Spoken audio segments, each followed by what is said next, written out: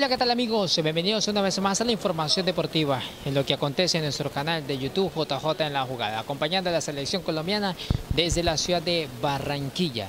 Y obviamente ya es hora de que escuchemos a los protagonistas con base del compromiso ante la selección de Colombia y ante la selección de Bolivia en el Metropolitano aquí en la capital del Atlántico, Barranquilla, porque JJ en la jugada, como siempre, siguiendo donde sale información con el patrocinio del Centro Comercial Viva Buenaventura, el Centro Comercial Viva Buenaventura, que donde te hace todo más económico y además te hace muy feliz porque el Centro Comercial Buenaventura está con la gente. Nosotros sabemos y, y, estamos de acuerdo que, que el fútbol eh, siempre hay que tener preparado o estar preparado para las distintas situaciones y, siempre los, los partidos tienen situaciones que, que aparecen y que, y que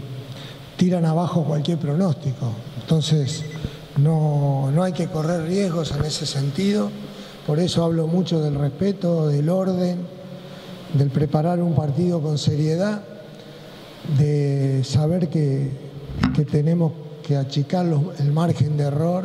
del buen momento que tengo, eh, seguir aprovechando eh, esa confianza que tengo en ese momento en mí, en mis cualidades y, y poner al servicio de la selección también.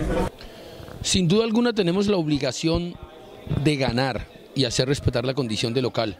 Si analizas los números, las estadísticas de la primera vuelta, Colombia en condición de local aquí en el Roberto Meléndez Martínez o Metropolitano se dio muchos puntos de condición de local.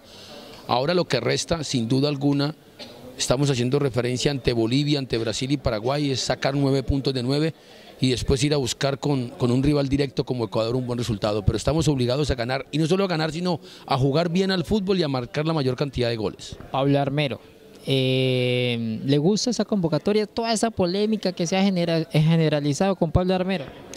Yo hablo de fútbol y Pablo Armero tiene la condición para ser convocado y ser titular de la selección colombiana de fútbol.